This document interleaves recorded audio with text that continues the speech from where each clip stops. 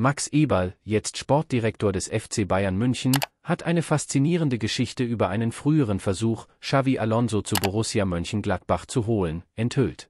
Vor drei Jahren war Alonso ein wichtiger Kandidat für den Trainerposten bei Gladbach, doch die Zusammenarbeit kam nicht zustande und Adi Hütter übernahm die Leitung. Eberl, der damals bei Gladbach war, hatte den starken Wunsch, Alonso zum Verein zu holen. Er war beeindruckt von den Gesprächen, die er mit dem ehemaligen spanischen Spieler führte. Alonso, der damals die zweite Mannschaft von Real Sociedad trainierte, lehnte das Angebot jedoch ab, da er das Gefühl hatte, dass die Zeit noch nicht reif sei und er mehr Erfahrung sammeln müsse. Obwohl Alonso den Vorschlag damals ablehnte, hat dies nicht unbedingt Auswirkungen auf die aktuellen Verhandlungen um den Trainerposten beim FC Bayern München.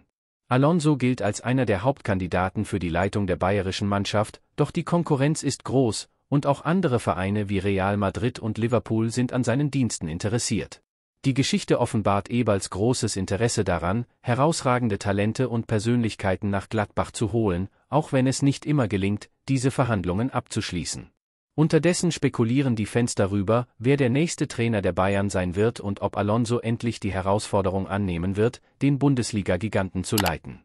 Und Sie, Fan von Borussia Mönchengladbach, was halten Sie von dem bisherigen Versuch, Xavi Alonso zum Verein zu holen? Hätten Sie ihn gerne als Gladbach-Trainer gesehen? Teile deine Meinung in den Kommentaren. Ende, ab sofort steht uns der Mitgliederbereich zur Verfügung, damit ich weiterhin daran arbeiten kann, euch jeden Tag mit allen Neuigkeiten unserer geliebten Borussia zu versorgen.